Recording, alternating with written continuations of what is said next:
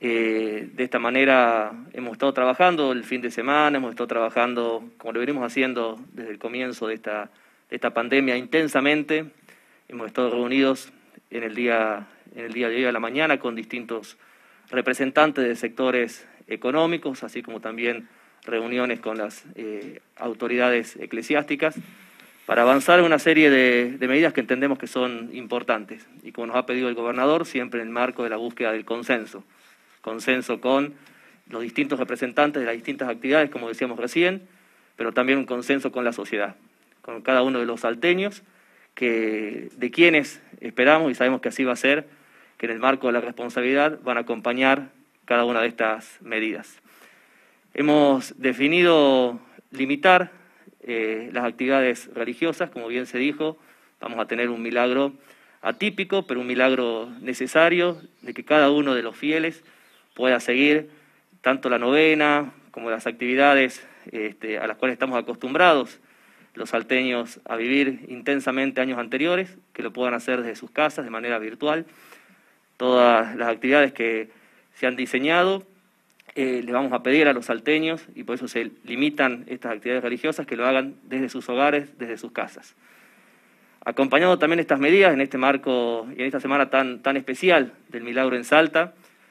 eh, hemos hablado con los distintos sectores y vamos a tomar medidas puntuales. Esta medida tan eficiente que ha resultado tan positiva para controlar la movilidad de las personas de los días domingos, la vamos a extender a los días 13, que es domingo por sí, eh, al 14 y al 15. Es decir, que esos días van a estar eh, limitadas, restringidas las actividades en supermercados, comercios, centros comerciales,